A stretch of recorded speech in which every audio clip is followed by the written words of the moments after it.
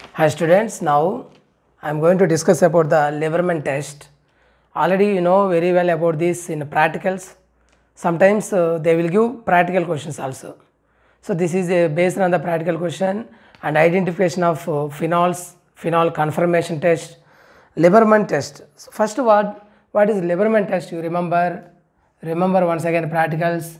First uh, you take the phenol compound.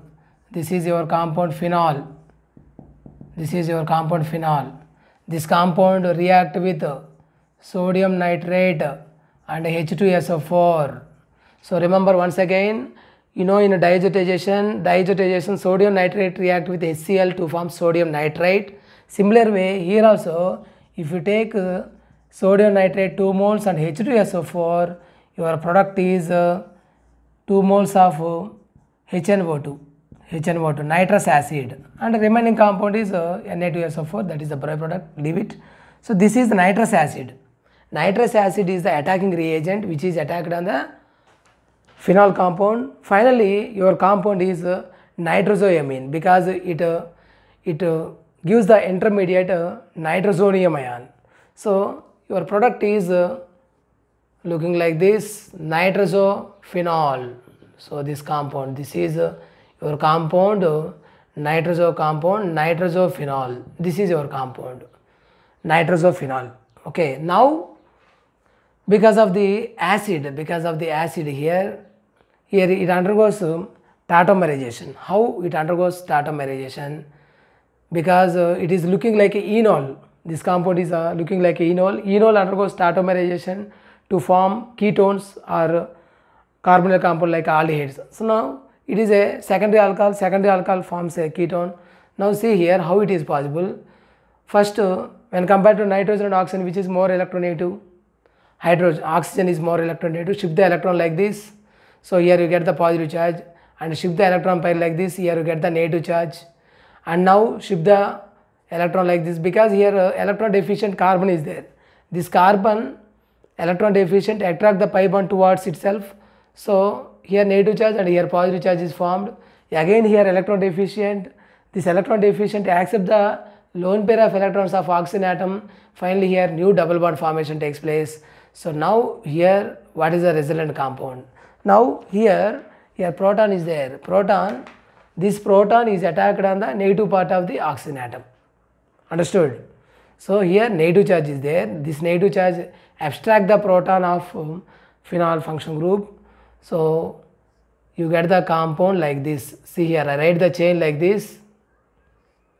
Here, if proton is removed, here you get the negative charge. Between negative and positive charge, double bond formation takes place. This is double bond O. Very, very important mechanism. And now here, this is negative charge and positive charge, between them double bond formation takes place. And here, shifting like this, here negative charge and here positive charge is there. Between them double bond formation takes place. And finally your compound is uh, looking like a oxime. This is uh, one oxime compound. Okay. So this is oxime compound. Now here because of this acid so because of this acid acid so here oxygen have lone pair of electron. Lone pair of electron donated to proton. Finally your compound is uh, looking like this double bond n here plus hydrogen hydrogen with one lone pair and here a double bond O is formed right? Now here proton is removed. Now here proton is removed. If you remove the proton again it uh, attains its lone pair of electron. So your resultant compound is uh, looking like this. Double bond N OH and here formula formula like this. Now here what happened? It react with phenol once again. You take one more phenol. It react with phenol. So your compound is looking like this. This is your compound phenol. Now here paraposition nitrogen is there. This hydrogen and this hydroxyl ion is removed. If you remove the hydroxyl ion, nitrogen get positive charge. If you remove proton here, if you remove proton here, you will get the negative charge. So between them bond formation takes place your compound is looking like this. So here this is double bond O and here double bond N. This nitrogen the positive part attract the negative part of the phenol function group. So this is your compound. So very very important for competitive examination. This is called indophenol indophenol indophenol that compound first forms blue color solution this is indophenol compound. This form first forms red color compound. This is red color compound. Now alkaline. Alkaline means react with sodium hydroxide. React with sodium hydroxide. Now here oxygen and uh, proton. This is a, a positive positive term. So it is removed as a proton. And Na plus and OH minus is there. So here hydroxyl ion and H plus ion removed as water molecule. Finally this H plus ion is replaced by sodium. So this is uh, indophenol which contains uh, blue color. See here the structure double bond N and here as it is your compound proton is replaced by sodium. Sodium indophenol substituted indophenol this is blue color.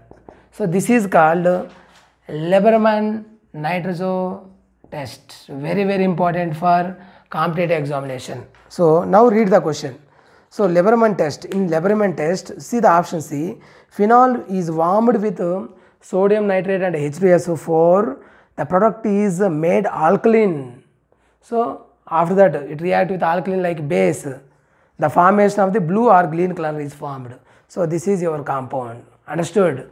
Here first phenol reacted to form nitrosophenol after tautomerization to form oxime, oxime and react with the proton to form the compound like this. After that uh, it react with one more phenol compound, indophenol red color is formed. This color red color react with excess of uh, alkaline solution it is uh, green color is formed, blue or green color is formed. This is called Liebermann test, right.